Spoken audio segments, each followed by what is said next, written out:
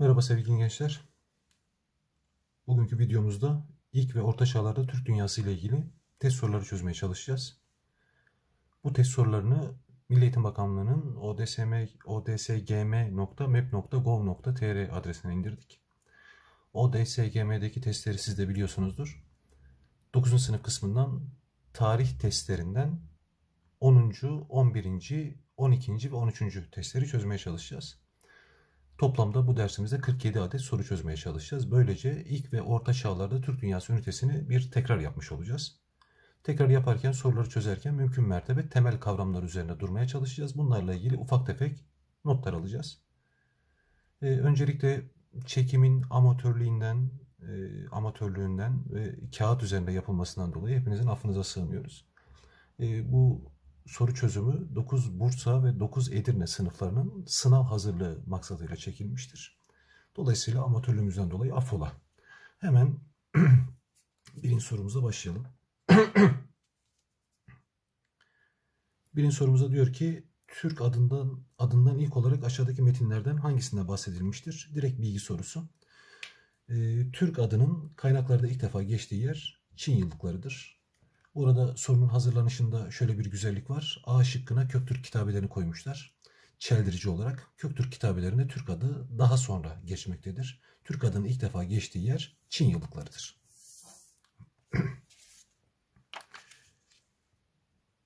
İkinci sorumuza bakacak olduğumuzda ikinci sorumuzda Bizans aşağıdaki bölgelerden hangisi için bu nitelemeyi kullanmıştır diyor. Türkiye kelimesine coğrafi bir bölgenin adı olarak ilk kez Bizans kaynaklarına rastlanmıştır. Türkiye kelimesi Bizans kaynaklarında ilk defa neresi için kullanılmıştır soruyor. E, şıklar arasında çeldirici olan B şıkkı Anadolu. Anadolu'dan çok daha önce Bizans kaynaklarında Orta Asya için Türkiye denmekteydi.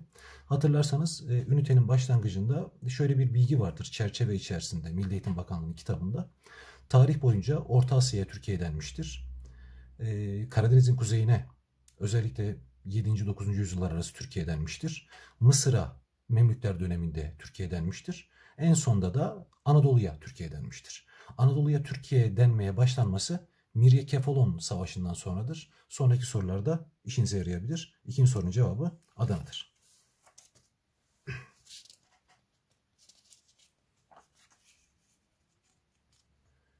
Üçüncü sorumuza baktığımızda Çin entrikalarının etkisiyle Türk devletlerinin ikiye bölünmesi Bakın anahtar kelimemiz ikiye bölünme. Aşağıdaki Türk anlayış ve uygulamalarının hangisinin bir sonucudur? İkiye bölünme dediğimizde direkt sorunun cevabı ikili teşkilattır. O halde ne yapmamız gerekiyor? Bizim ikili teşkilat hakkında bilgi sahibi olmamız gerekiyor. Hemen şöyle kenara kavramlar kısmına not alalım. Temel kavramlar kısmına. Hemen şuraya ikili teşkilat diyelim. Eğer bir sınav hazırlığı yapıyorsanız ikili teşkilatla ilgili yeterince bilgi sahibi olmanız gerekiyor. Ha burada Üçüncü soruda bir de A şıkkında kut anlayışı var. Kut anlayışını da temel kavramlar kısmını almamız lazım. Kut anlayışı ile ilgili de mutlaka sınav hazırlığı yaparken bilgi sahibi olmamız gerekiyor. Hemen burada bu iki kavramla ilgili basit birkaç şey söyleyecek olursak kut anlayışı dediğimiz gök tanrı tarafından verildiğine inanılan devlet yönetme etkisi. İkili teşkilat dediğimiz ise Orta Asya'da kurulan Türk devletlerinin doğu batı biçiminde iki kanada ayrılarak yönetilmesi biçiminde kısaca söyleyebiliriz. Üçüncü sorunun cevabı Ceyhan'dır. Dördüncü sorumuzda bu uygulamanın verilen durumlarından hangilerine neden olduğu söylenebilir diyor.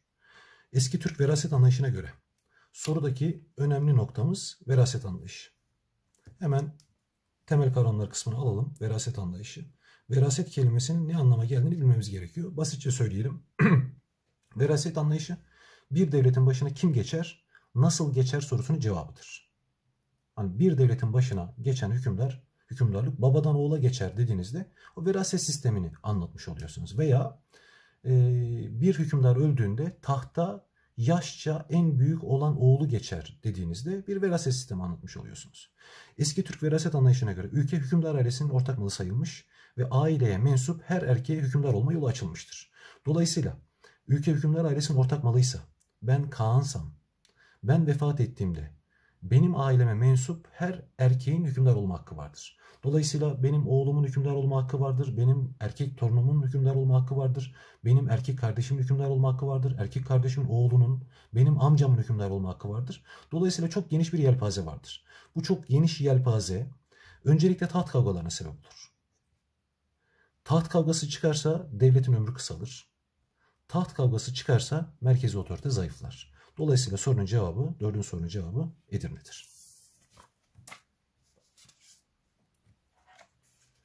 Beşinci sorumuz, eski Türklerde meclisi adlandırmak için yukarıdaki ifadelerden hangisi kullanılmıştır?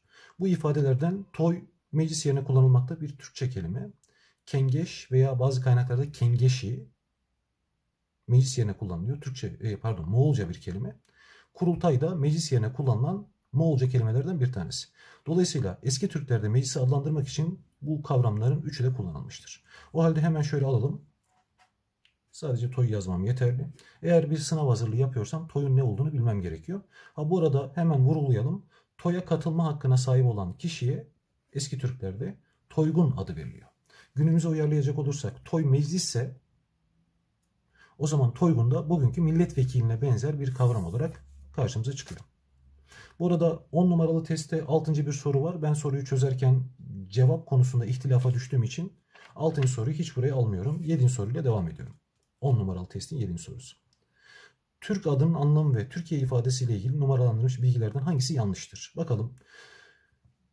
Türk kelimesi ilk kez devlet adı olarak Köktürkler kullanmıştır. Doğru. Türkiye adı coğrafi bir bölge olarak Bizans kaynaklarında kullanılmıştır. Birinci sorumuzda vardı. Bu da doğru. Ziya Gökalp'e göre Türk adı töreli, kanun sahibi, nizam sahibi. Bu da doğru. Türk kelimesi Divan Lügati Türk'te olgunluk çağı olarak geçmektedir. Bu da doğru. Türkiye adı ilk kez Malazgirt Savaşı sonrası kullanmaya başlamıştır. Bu yanlış. Türkiye adının ilk defa Anadolu için kullanılmaya başlandığı yer Miryeo Kefalon Savaşı. İlk soruda bunu da söylemiştik. Sorunun cevabı Edirne. Bu bilgi yanlış. 8 numaralı sorumuz.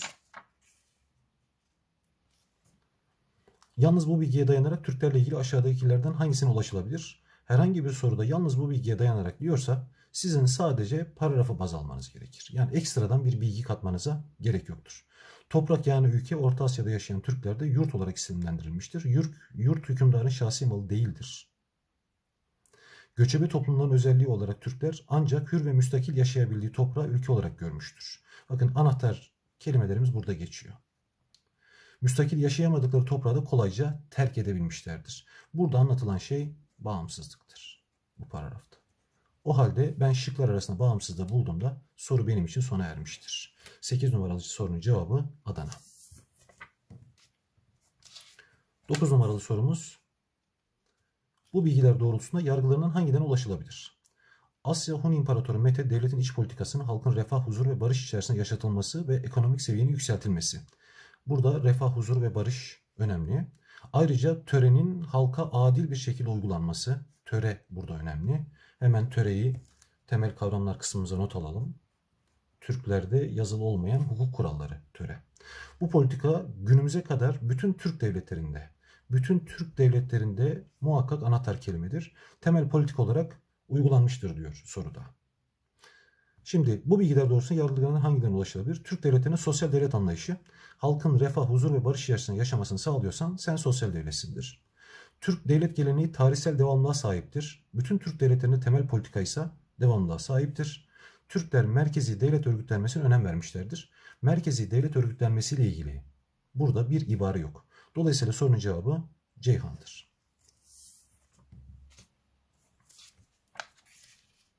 10. soru. Bu durum aşağıdakilerden hangisine neden olduğu söylenebilir. Eski Türklerde ülke hanedanın ortak malıdır. Bakın ülke hanedanın ortak malı. Bu veraset anlayışıdır Türklerde. Türklerde veraset anlayışı nedir denirse ülke hanedan ortak malı.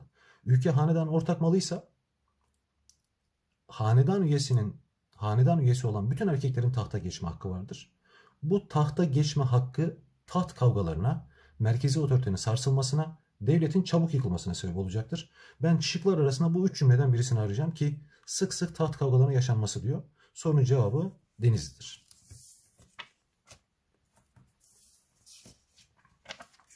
11. sorumuz. Aşağıdakilerden hangisi hatunun hatunların siyasi yetkiye sahip olduğunu gösterir? Siyasi yetki. Devlet yönetimiyle ilgili bir husus olması gerekiyor siyasi yetki olması için. Eski Türklerde kadın toplumda önemli bir yeri vardı. Kaan olmadığında hatun kurultaya başkanlık yapması. Kurultay devlet işlerinin görüşüldüğü yer. Dolayısıyla soru A şıkkında bitmiştir. 11'in sorunun cevabı Adana'dır.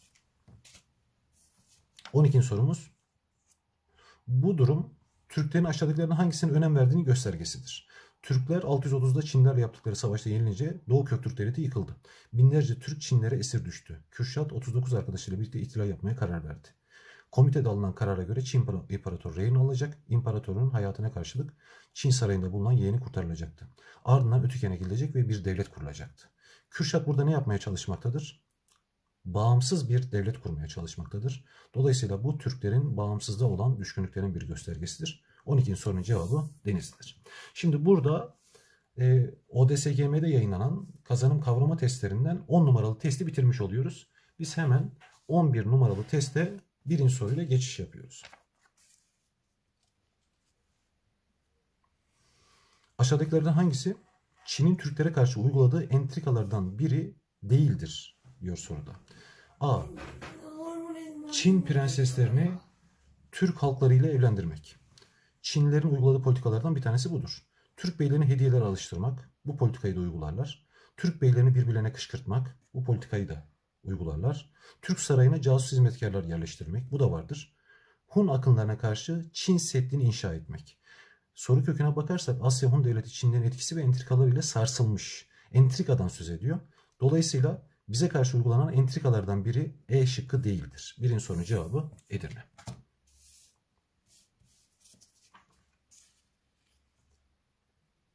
İki numaralı soru. Metehan böyle davranmakla düşüncelerinin hangilerini gerçekleştirmeyi amaçlamıştır? Metehan Çin'i mağlup ettiği halde Çin'e yerleşmemiş sadece vergi bağ vergiye bağlamayı tercih etmiştir. 1. Veraset yasalarını değiştirme. Neydi veraset? Devletin başına kim geçer, nasıl geçer? Paragrafla bir alakası var mı? Yok. Sorunun cevabının bir olmaması gerekiyor. Şöyle yapalım hatta. Dolayısıyla sorunun cevabı Adana olamaz. Sorunun cevabı Denizli olamaz. Sorunun cevabı Edirne olamaz. Sorunun cevabı ya Bursa'dır ya da Ceyhan'dır. Halk arasında eşitliği sağlama. Verilen cümleyle halk arasında eşitliği sağlama arasında da bir alaka yok. Sorunun cevabı 2 de olamaz.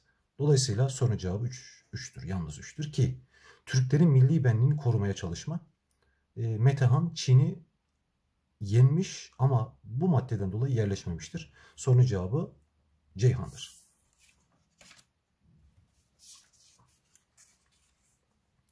Üç numaralı soru. Bu durum verilenlerden hangilerini ortaya çıkardığı söylenebilir. Kiyok döneminden itibaren Çinli prenseslerin siyasi gücüne yararlanan Çin, Büyük Hun Devleti'ne casusluk yapmaları için elçiler ve hizmetkarlar göndermiştir. Bu neye sebep olacaktır? Şimdi biz soruda onu bulmaya çalışacağız. Ülkede isyan ve karışıklıklar çıkması, Çinli prensesler buna sebep olur. Hun devletinin parçalanması, isyan ve karışıklık çıkarsa Hun devleti parçalanır. Çin'in Orta Asya'nın tamamına hakim olması, bu politikayla Çin Orta Asya'nın tamamına hakim olamayacaktır. Dolayısıyla sorunun cevabı Denizli'dir.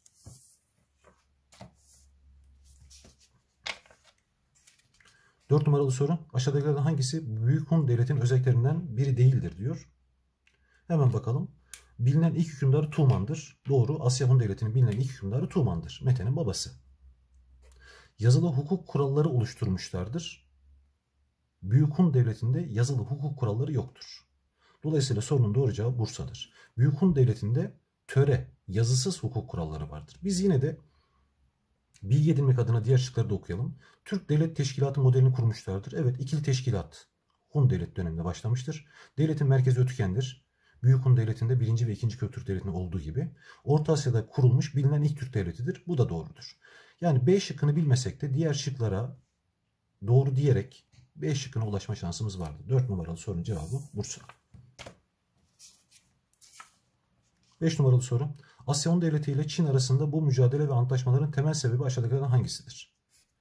Orta Asya'da bir Türk devleti Çin ile mücadele ediyorsa, bakın üst tarafa hiç bakmadan söylüyorum, sorunun temel sebebi İpek yoldur.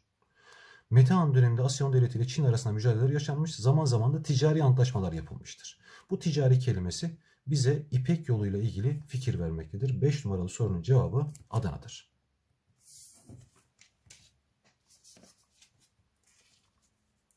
6 numara. Buna göre aşağıdakilerin hangisine ulaşılabilir? Hükümdara devlet yönetimiyle ilgili konularda Toy, Kengeç, Kurultay gibi adlarla bilinen meclis yardımcı olmuştur. Kurultayda son söz hükümdara aittir. Şimdi burada önceki ünitelerden de hatırlarsınız. Ee, bir devlet yönetim modelinde bir hükümdar yanında bir meclis varsa burada hükümdarın ve meclisin birbirine karşı olan güçlerine dikkat etmek lazım. Eğer meclisin aldığı kararlara hükümdar uymak zorunda ise tekrar söylüyorum meclisin almış olduğu kararlara hükümdar uymak zorundaysa bu meşruti bir yönetimdir. Ama meclisin almış olduğu kararlar karşısında hükümdar son söze sahipse, kendi istediği kararı alabiliyorsa bu sefer o meclis danışma meclisi durumuna düşmüştür. Dolayısıyla benim şıklar arasında danışma meclisi niteliğini aramam gerekiyor. 6 numaralı sorunun cevabı Deniz'de. 7 numaralı soru.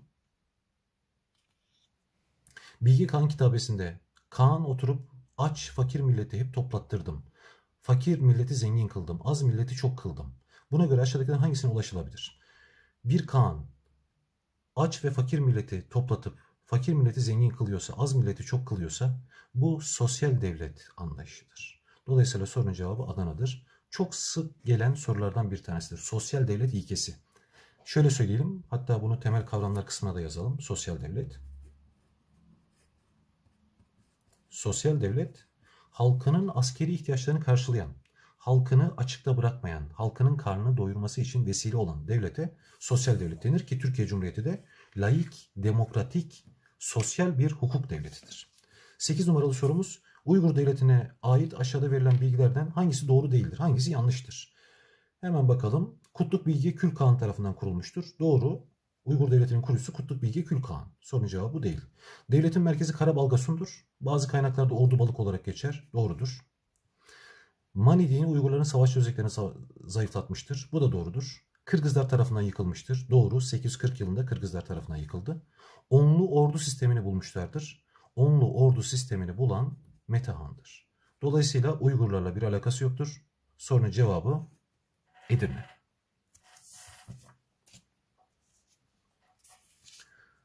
9 numaralı soru. Verilenlerden hangilerinin Asyon devletine ait olduğu söylenebilir? Orta Asya'da bilinen ilk teşkilatlı devlettir. Doğru. Sorunun cevabında bir mutlaka olacak. Sorunun cevabı Bursa ve Ceyhan olamaz. Türklerin ilk düzenli ordusunu kurmuşlardır. Doğru Metehan M.Ö. 209. 1 ve 2 olacak soruda. Sorunun cevabı Edirne'de olamaz. 1 ve 2 olacak dediğimize göre yalnız 1 de olamaz. 3'ü hiç okumama gerek kalmaz. Denizli'dir. Ha okursam Orhun yazıtları bu dönemde yazılan eserlerdir diyor. Orhun yazıtları 2. Köktürk Devleti döneminde yazılmıştır. Dolayısıyla sorunun cevabı Denizli 1-2'dir. 10 numaralı soru. Bu durum sonuçlarının hangilerini doğurmuştur? Eski Türk Devleti'nde devletin devleti yönetme yetkisinin Tanrı tarafından verildiğine inanılırdı. Kut denilen bu yetki kan yoluyla hükümdarın oğullarına geçerdi. burada hemen işaretleyelim. Temel kavramlarımızdan bir tanesinin tanımını vermiş. Bu durum sonuçlarının hangilerini doğurur diyor. Hemen bakalım. Halkın hükümdara bağlılığını arttırma. Devletin başındaki hükümdara devlet yönetme yetkisini Tanrı veriyorsa halkın hükümdara bağlılığı artar. Hükümdarın oğullarının taht mücadelesine girişmesine, hükümdardan oğullarına geçerse taht mücadelesi gerçekleşir. Farklı soylardan hükümdar çıkmaması. Kut kimde, hangi sülalede varsa o sülale içerisinde devam edeceği için farklı soylardan hükümdar çıkmaz.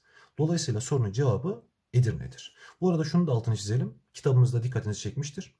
Asya Hun Devleti'nde kut sahibi sülalenin adı Tuku sülalesidir. Birinci Köktürk Devleti'nde ve ikinci Köktürk Devleti'nde kut sahibi sülalenin adı Aşina sülalesidir. Uygurlarda buna e, şuna 2 diyelim. Şuraya 1 2 diyelim. Uygurlarda kut sahibi sülalenin adı Yağlakar sülalesidir. Dolayısıyla bu sülaleler dışında farklı soylardan hükümdar çıkmaz. 11 numaralı sorumuz. İslamiyet öncesi Türklerle ilgili aşağıdaki ifadelerden hangisi yanlıştır? Hükümdar hutbe ile egemenliği pekiştirdi, pekiştirirdi. Soru burada bitiyor. Sorunun cevabı Adana. Ama biz şöyle yapalım. Soru Adana'da bittiği için bir tersten başlayalım. Edirne'den başlayalım. Sorunlar kurultay denilen, kurultay denilen meclise görüşürüldü. Evet İslamiyet'ten önce kurultayda görüşülür. Ülkenin doğusunu Hakan, batısını Yabgı yönetir. İkili teşkilattır bu. Doğru. Devletin başındaki hükümdar Han, Hakan, Kaan gibi ünvanlar kullanır. Doğru. Bunun yanında İlteber, İdikut, İlteriş, Tanhu, Şanyu gibi ünvanlar da kullanılıyordu. Ülke hanedanın ortak malı sayılırdı. Bu da doğru. Ha neden sorunun cevabına direkt Adana dedim. Buradaki hutbe Cuma günleri imamın minbere çıkarak okuduğu şeydir hutbe. Dolayısıyla hutbe İslamiyet'ten sonra bize gelmiştir. Soruda İslamiyet öncesi dediğine göre sorunun cevabı direkt olarak Adana'da işaretlenebilirdi. Şimdi kazanım testlerinden 11 numaralı testimizin de sonuna geldik. Biz yavaş yavaş 12 numaralı testimize geçeceğiz. 12 numaralı testimizde hemen birinci soruyla başlayalım. Orta Asya'da yaşayan Türklerin hayat hayat şartları düşünüldüğünde aşağıdakilerden hangisi söylenebilir? Konar geçer konar göçer bir hayat süren Türklerin en önemli geçim kaynağı hayvancılıktı. A şıkkı ekonomik hayatta ticaret ki hayvancılık diyor. Sorunun cevabı A değil. Bozkır kültürü. Konar göçer hayatın bir diğer adı bozkır kültürüdür. Sorunun cevabı Bursa'dır. Ha biz devam edelim. Yerleşik hayata geçildiği hayvancılıkla uğraşan yerleşik hayatta olmaz. Yazının henüz kullanılmadığı hayat şartlarıyla bağlantı kuramazsın.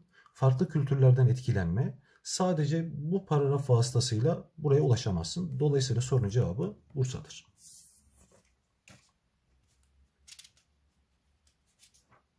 İki numaralı soru. Buna göre Orta Asya'daki mücadelenin temel sebebi olarak aşağıdakilerden hangisi söylenebilir? Asya Hun Devleti ile Çin arasında ticari antlaşmalar yapılmasına rağmen zaman zaman ekonomik temelli savaşlar da yapılmıştır. Ekonomik temelli savaş dediğimizde şıklar arasında İpek yolunu aramamız gerekiyor. İki numaralı sorunun cevabı Bursa. Üç numaralı sorumuz. Ordu millet anlayışının yerleştiği Türklerde aşağıdakilerden hangisi görülmemiştir? Türk ordusunun özelliklerinden dem vuruyor. Mutlaka bilinmesi gereken konulardan bir tanesi. Ücretli askerliğin olmaması, Türklerde ücretli asker yoktur. Görülmemiş dediğine göre sorunun cevabı bu değil. Kadın erkek herkesin asker olarak kabul edilmesi. Doğrudur. Türklerde kadın erkek herkes asker kabul edilir. Görülmemiştir diyor. Askerliğin ayrıcalıklı bir meslek olması. Dikkat edin.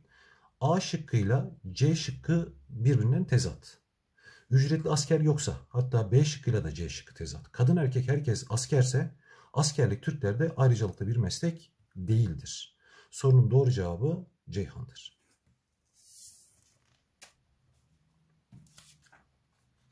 Dört numaralı sorumuz.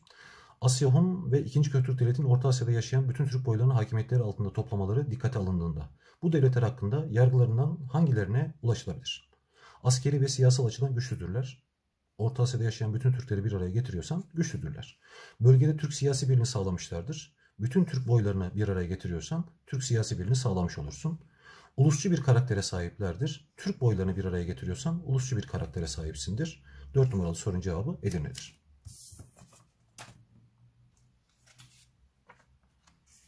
Beş numara. Mani dinini kabul eden ve yerleşik hayata geçen ilk Türk devleti olan Uygurların özelliklerinden hangileri Hunlar ve Köktürkler döneminde duyulan, duyulan kaygıyı doğrulamaktadır? Bir paragraf var burada ama paragrafı çok da okumaya gerek olduğunu zannetmiyorum. Askeri yeteneklerin azalmasına. Evet, e, din değiştirmenin Hunlar ve Köktürkler döneminde e, askeri yeteneklerin azalacağına inanılıyor. Töre hukukunun pek çok alanda geçerli sürdürmesi bu alakası yok. Dini terimlerin Türkçe karşılıklarının kullanılması bu da alakasız. Sorunun cevabı 5 Adana. 6 numaralı soru hakkında bilgi verilen Türk yönetim sisteminin adı aşağıdakilerden hangisidir? Köktürk hükümdarı Mukan Kağan ülkenin batı kanadını yönetimini amcası İstemi Yagun'un yönetimine bırakmıştır. Batı kanadı dediğine göre Mukan Kağan doğu kanadında oturuyor. O zaman sorumuzun cevabı bu tarafta yazıyor. Bizim şıklardan ikili teşkilatı bulmamız gerekiyor. 6 numaralı sorunun cevabı Ceyhan. Ama biz A şıkkında kurultay meclis bizde. Onlu sistem Meta'nın kurduğu 10 kişinin başına 10 başı dediğimiz sistem. Yu bir kişi öldükten sonra arkasından yapılan tören. Kengeş de kurultayın eş anlamlı kelimelerinden bir tanesiydi. Dolayısıyla sorunun 6 numaralı sorunun cevabı Ceyhan. 7 numaralı sorumuz Uygurların özelliklerinin hangilerinin kendilerinden önceki Türk devletlerinden farklı olduğu savunulabilir. Hemen şöyle şu sağ tarafa yazalım. Asya'da kurduğumuz ilk devlet Asya Hun Devleti. Ardından kurduğumuz bir diğer devlet 1. Köktürk Devleti. Bir sonraki devletimiz ikinci Köktürk Devleti. Bunları sırasıyla bilmenize fayda var. Bir sonraki devlet Uygur Devleti. Şimdi soruda diyor ki Uygurların kendinden önceki devletler. Yani şu üç devleti kastediyor. Maniheizm dinini benimsemeleri. Bu üç devlette Maniheizm dini yok. Dolayısıyla kendinden önceki devletlerden farklılar bu durumda. Sorunun cevabında birin olması gerekiyor. Sorunun cevabı Bursa olamaz, Ceyhan olamaz, Edirne olamaz. Direkt %50'ye indik. Kendilerine özgü alfabe kullanmaları. Tamam Uygurların kendine özgü alfabesi vardır ama Köktürklerin de kendisine özgü alfabesi vardır. Dolayısıyla arada bir fark yoktur. Sorunun cevabında 2'nin olmaması gerekiyor. Yönetimde kurultay kararlarına önem vermeleri. Bütün Türk devletlerinde bu var zaten İslamiyet'in öncekilerde. Kağıt ve matbaa tekniğinde gelişmeleri kendinden önceki 3 devlette bu yoktur. Dolayısıyla sorunun cevabı Denizli'dir. 7 numaralı sorunun cevabı. 8 numaralı soru. Verilenlerden hangileri ilk Türk devletinin ortak özellikleri arasında yer almaktadır? Yani şu dört devletin ortak özelliği olması gerekiyor. İkili devlet teşkilatı anlayışını benimsemeleri. Evet, ikili devlet teşkilatı Orta Asya'daki bütün Türk devletlerinde var. Sorunun cevabında bir olacak. Hemen elememi yapıyorum. Ülkenin hükümdar hanedan ha, ülkenin hanedan ortak malı sayılması bütün Türk devletlerinde var. İki de olması gerekiyor. %50'ye indim. Ülkenin törelerle yönetilmesi İslamiyet'ten önceki bütün Türk devletlerinde töre ağır basar. Dolayısıyla sorunun cevabı Edirne'dir. 9 numaralı soru. Bu anlayışıyla Türk devletlerinde aşağıdaki sorunlardan hangisine yol açmaktadır diyor. İlk Türk devletlerinde yönetim anlayışı ülke hanedanın ortak malıdır şeklindedir. Bu durum beraberinde bazı sorunlara yol açmıştır. Ee, az önce de söylemiştik başka bir soruda. Ülke hanedanın ortak malıysa taht kavgaları çıkar, merkezi otorite sarsılır, devlet çabuk yıkılır. Dolayısıyla benim şıklarda bunları aramam gerekiyor.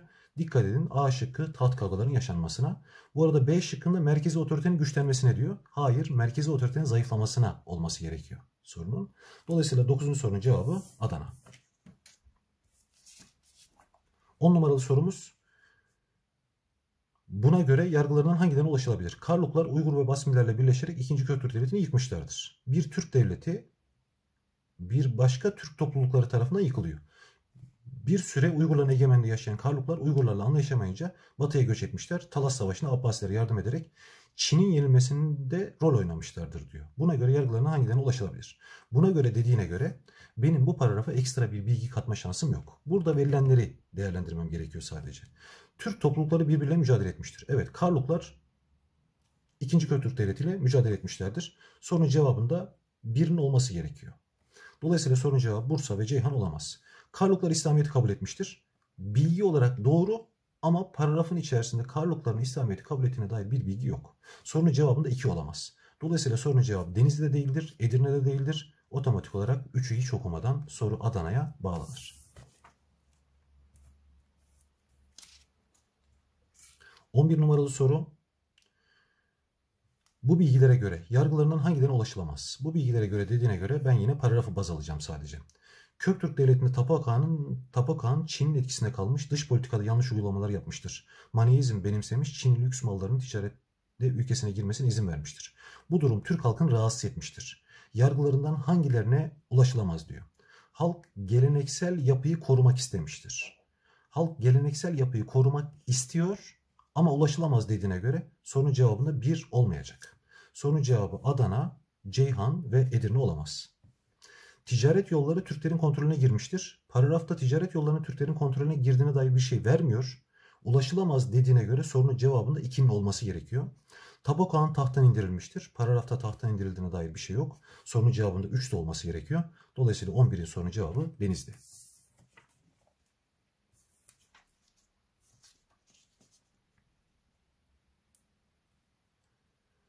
On iki numaralı soru bilinmesi gereken kavramlardan gelmiş yine. İlk Türk devletlerinde sosyal yapı ile ilgili verilen eşleştirmelerden hangisi doğru değildir? Bu ilk Türk devletlerinde sosyal yapı ile ilgili mutlaka bir üçgen çizerek şöyle en altta oguş var. Oguşlar birleşiyor uruk. Uruklar birleşiyor boy. Boylar birleşiyor bodun. Bodunlar birleşiyor il. Bu sıralamayı hatırlamamızda fayda var. Oguş aile midir? Evet. Peki il boylar birliği midir? Hayır. İl bodunlar birliğidir. Sorunun cevabı Bursa. Devamını getirelim biz. Uruk aileler birliği midir? Evet. Budun millet demek midir? Evet. Peki ok boy demek midir? Evet. Sorunun cevabı 12 Bursa'dır. Böylece kazanım testlerimizden 12 numarayla bitirmiş olduk. Hemen seri şekilde vakit kaybetmeden 13. sorumuza geçelim. Pardon. 13. testimize geçelim. 13. testimizin birinci sorusu. Aşağıdakilerden hangisi Orta Asya'dan yapılan göçlerin siyasi sebeplerinden biri değildir diyor. Siyasi sebeplerden. Boylar arası mücadele siyasi sebeptir. Çin-Moğol baskısı siyasi sebep. Yeni yurtlar edinme düşüncesi siyasi. Türk boylarının birbirine bağlılığı siyasi. Salgın hastalıklar siyasi bir sebep değildir. Burada manayla Orta Asya'dan yapılan Türk göçlerinin sebeplerinden dört tanesini görmüş oluyoruz. İki numaralı soru. Aşağıdakilerden hangisi Orta Asya Türk göçlerinin siyasi sonuçlarından? Bu sefer sonuç sormuşlar. Farklı coğrafyalarda değişik isimlerde Türk devleti dediğinde bir yerde bir devlet kurulmuşsa, bir devlet yıkılmışsa, bir devlet bölünmüşse, bir devlet ortadan kalkmışsa onun yerine devlet yerine geçecek bir yönetim şekli ortaya çıkmışsa ki feodaliteyi kastediyorum. Bu ünite içerisinde var olan kavramlardan bir tanesi. Eş anlamlı kelimesi derebeylik. Mutlaka bilmeniz gerekiyor bunu da. Bunların hepsi siyasi sonuçtur. Dolayısıyla 2 numaralı soru A şıkkında okuduğumuz anda sona ermektedir. 3 numaralı sorumuz. Bu durumun sonucunda aşağıdaki gelişmelerden hangisi yaşanmıştır diyor. Büyük Hun devletin dağılmasıyla Hunların bir kısmı ve birçok Türk boyu öncelikle Aral Gölü ve Hazar Denizi arasındaki bölgeye gelmişler. Buradan Karadeniz'in kuzeyine yönelmişler. Burada yaşayan Ostrogotlar, Vizigotlar, Vandallar gibi gibi kavimlere baskı yapmışlardır.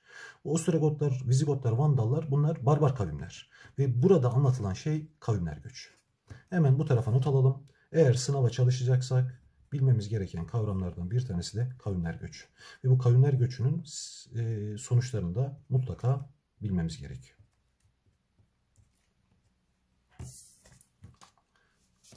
Dört numaralı sorumuz. Aşağıdakilerden hangisi kavimler göçünün kültürel sonuçlarından bir tanesidir? Kültürel sonuç. Türkler Avrupa'da Hun devletini kurmuştur. Siyasi sonuç. Derebeylik rejimi önem kazanmıştır. Az önce söyledik. Siyasi sonuç. Skolastik düşünce egemen olmuştur. Kültürel sonuç. Bugünkü Avrupa devletlerinin temeli siyasi sonuç. Roma İmparatorluğu ikiye bölündü siyasi sonuç. Bir daha hatırlatayım. Bir devlet kurulmuşsa, bir devlet yıkılmışsa, bir devletin temeli atılmışsa, bir devlet bölünmüşse, bir yerde devlet ortadan kalkmış da devletin yerine geçecek bir yönetim şekli ortaya çıkmışsa siyasi sonuçtur. Peki skolastik düşünce nedir? Skolastik düşünce bir bilgiyi doğduğu gibi kabul etme. Deney yapmama, gözlem yapmama. Yani ortaçağ Avrupa'sında din adamının iki dudağı arasından çıkan şeyi doğru kabul etme olarak söyleme şansımız var. Hemen bunu da kavramlar kısmımıza alalım. Skolastik düşüncede sınav hazırlığında bilinmesi gereken kavramlardan bir tanesi. Skolastik düşünce. 5 numaralı sorumuz. Avrupa Devleti'nin Avrupa'yı alanlarından hangilerinde etkilediği söylenebilir. Avrupa On Devleti ile bilgim varsa paragrafı hiç okumama gerek yok. Zaman kaybetmeme gerek yok. Askeri alanda etkilemiştir Avrupa Devleti. Dini alanda etkilememiştir. Kültürel alanda etkilemiştir. Sorunun cevabı 1-3 Denizli'dir. 6 numaralı soru. Aşağıdakilerden hangisi Avrupalılar ile ilgili bir özellik değildir? Bizans'ta siyasi ilişkiler kurulmasına doğrudur. Hatırlayınız Atilla döneminde 1. Balkan, 2. Balkan seferleri, Margos ve Anatolios antlaşmaları var. Dolayısıyla siyasi ilişki var. Türklere yeni yerleşim alanları yaratılması. Evet Avrupa On Devleti büyüdü. Yeni yerleşim alanları yarattı. Batı Roma İmparatorluğu'nun vergiye bağlanması. Doğrudur. E, Atilla'nın Batı Roma üzerine Galya ve İtalya seferleri var. Sonrasında e, Roma'yı almamamız karşılığında bir vergiye bağlanma durum var. Avrupa'da ilk yazılı eserlerin bırakılması, Avrupa Devleti Avrupa'da bir yazılı eser bırakmadı. Kavimler göçüyle bugünkü Avrupa'nın siyasi temellerinin atılması, bu da özelliklerden bir tanesi. Altıncı sorunun cevabı denizdi. 7 numaralı soru. Bu durum Avrupa ile ilgili verilenlerden hangilerinin bir göstergesi değildir? Avrupa Devleti hükümdarı Atilla Bizans'ı vergiye bağladıktan sonra Galya ve Batı Roma üzerine de başarılı seferler yaptı. Bu durum Avrupa ile ilgili verilenlerin hangilerinin bir göstergesi değildir. Kavimler göçünün başlatıldı. Kavimler göçü Atilla'dan önce başladı. Dolayısıyla sorunun cevabında birin olması gerekiyor. Sorunun cevabı da mutlaka bir olmalı. Sorunun cevabı Adana olabilir, Denizli olabilir. Ceyhan ve Edirne olamaz. Egemenlik alanların daraldığı, egemenlik alanlarında bir daralma söz konusu değildir. Sorunun cevabında 2'nin olmaması gerekiyor. Pardon, egemenlik alanlarının alanının daraldığı değildir dediğine göre egemenlik alanında daralmamaktadır. Dolayısıyla sorunun cevabı Denizli'dir. Margus Antlaşması'nda verilen maddelere göre aşağıdakilerden hangisine değinilebilir? Direkt maddelere bakayım. Hunlarca esir alınmış Romalılar ile çeşitli nedenlerle ülkelerini terk eden Hunlar Doğu Roma devletine kabul edilmeyecektir. Hunlar, Romalılar Hunların hakimiyeti altında olan kavimlerle işbirliği yapmayacaktır. Dolayısıyla Hunlar Roma İmparatorluğu üzerine bir baskı oluşturmuşlar. Şıklara bir bakayım şöyle. Hmm. Hunların Bizans üzerine üstünlük kurduğu 8 numaralı sorunun cevabı Bursa. 9 numaralı soru. Buna göre yargılarının hangilerine ulaşılabilir? Soruda buna göre diyor. Avrupa'da kendi göçebe geleneklerini sürdüren Hunlar ele geçirdikleri bölge halkıyla beraber yaşamışlardır. Atilla'nın sarayında Hun dilinden başka Latin ve Germen dilleri de konuşulmuştur diyor. Hunlarda hoşgörülü bir yönetim anlayışı, başka dillerde konuşuluyorsa hoşgörülü bir yönetim anlayışı vardır. Bir olacak sorunun cevabında. Elemelerimi yaptım. Hunlarda kültürel, kültürel birlik sağlanmıştır. Başka diller konuşuluyorsa kültürel birlikten söz edemezsin. Hun ülkesinde kültürel etkileşim gerçekleşmektedir. Evet kültürel etkileşim gerçekleşmektedir. Sorunun cevabı Ceyhan. 10 numaralı soru. Kırgızlara ait dünyanın en uzun destanı Manas destanı. Bursa. 11 numaralı soru. Malazgirt Savaşı'na saf değiştiren dediğinde sorunun cevabı ya peçeneklerdir ya uzlardır. Sorunun cevabı Adana. 12 numaralı soru. Yukarıdaki Türk topluluklarının hangileri hem Asya'da hem Avrupa'da devlet kurmuştur? Avarlar hem Asya'da hem Avrupa'da devlet kurmuştur. Hunlar aynı şekilde. Köktürklerde böyle bir şey yoktur. Sorunun cevabı Ceyhan'dır. Evet sevgili gençler. Toplamda 47 soruyu elimizden geldiği kadar açıklayarak çözmeye çalıştık. Hepinize bizi dinlediğiniz için, seyrettiğiniz için teşekkürler. Sınavlarınızda başarılar.